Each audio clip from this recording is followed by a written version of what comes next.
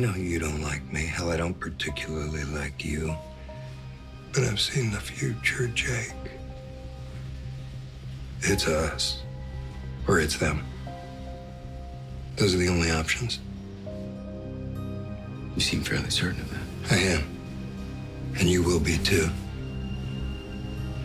Once you've really taken some time to consider my offer.